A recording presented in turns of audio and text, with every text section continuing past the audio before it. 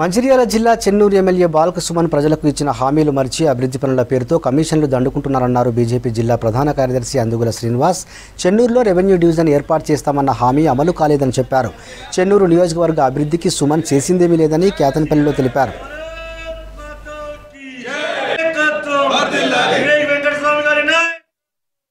మూడు సంవత్సరాల నుంచి వాళ్ళ అయ్యగానయ్య కట్టిన ప్రాజెక్ట్ ఏదైతే ఇరిగేషన్ ప్రాజెక్టు కాళేశ్వరం ప్రాజెక్ట్ ఉందో దాని ద్వారా లిఫ్ట్ ఇరిగేషన్ ద్వారా వాటర్ వాటర్స్ రివర్స్ వచ్చి పదిహేను వేల కుటుంబాలు పదిహేను వేల ఎకరాలు దాదాపుగా పదిహేను వేల ఎకరాల భూమి పంట నష్టం జరుగుతున్నా కూడా ఉక ఉలకకుండా పలకకుండా ఉన్న మా బాలకసుమ మేము మూడు సంవత్సరాల నుంచి అతను చెప్తూనే ఉన్నాం. వాళ్ళకి నష్టపరిహారం చెల్లించాలి నష్టపరిహారం చెల్లించాలని చెప్పేసి మేము గవర్నర్ గారి దాకా వెళ్ళి వినతి పత్రం సమర్పించుకొని రావడం జరిగింది. అయినా కూడా ఈ రాష్ట్ర ప్రభుత్వానికి కానీ ఇక్కడ ఉన్న సుమన్కి ఎమ్మెల్యేకి కానీ ఏమాత్రం పట్టనవ్వలేదు ఈ ఎమ్మెల్యేకి కావాల్సింది ఏంటంటే ఈ నియోజకవర్గంలో ఉన్న మాఫియా.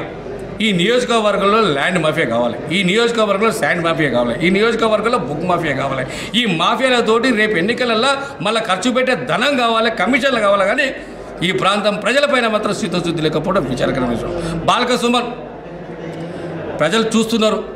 ఈ చెన్నూరు నియోజకవర్గంలో ఎప్పుడు ఎన్నికలు వచ్చినా కూడా నిన్ను తన్ని తరిమేసే దిశగా ఈ నియోజకవర్గ ప్రజలు ఉన్నది మర్చిపోకు.